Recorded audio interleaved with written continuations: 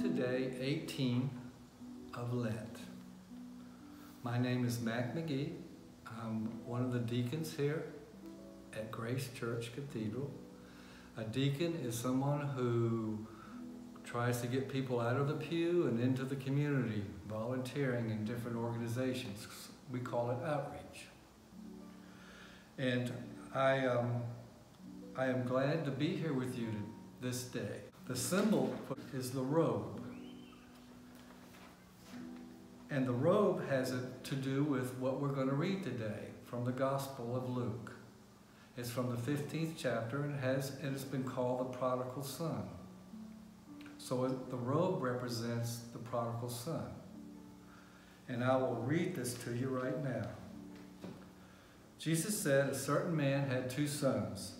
The younger son said to the father, Father, give me my share of inheritance. Then the father divided his estate between them. Soon afterward, the younger son gathered everything together and took a trip to a land far away. There he wasted his wealth through extravagant living. When he had used up his resources, a severe food shortage arose in the country, and he began to be in need. He'd hired himself out to one of the citizens of that country, who sent him into the fields to feed the pigs.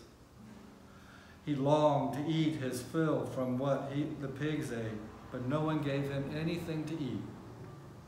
When he came to his senses, he said, How many of my father's hired servants have more than enough food? But I'm starving to death. I will get up and go to my father and to say to him, Father, I have sinned against heaven and against you. I, am no I no longer deserve to be called your son. Take me as one of your hired hands. So he got up and went to his father.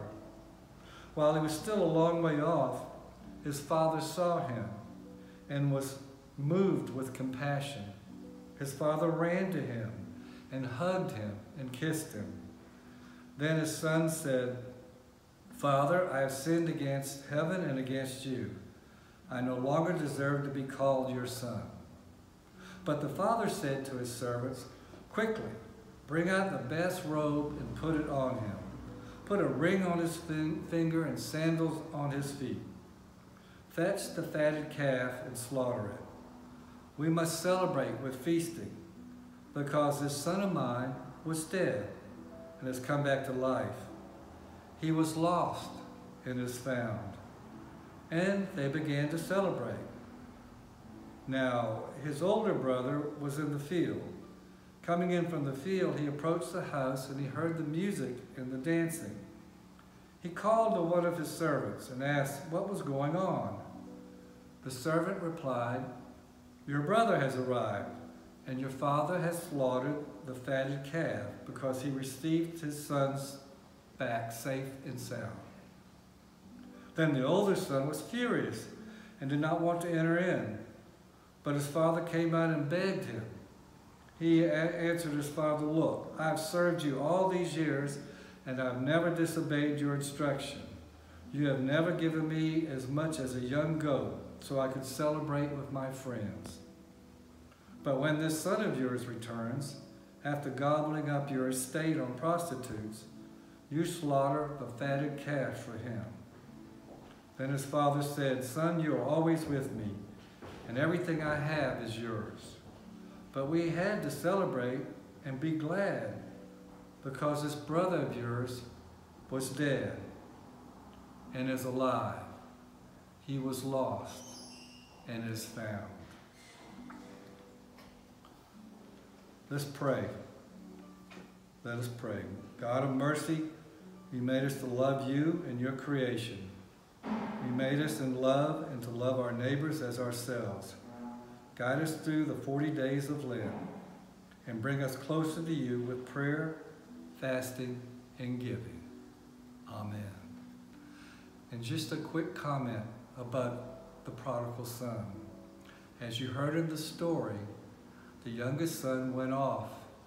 He wasted all his money.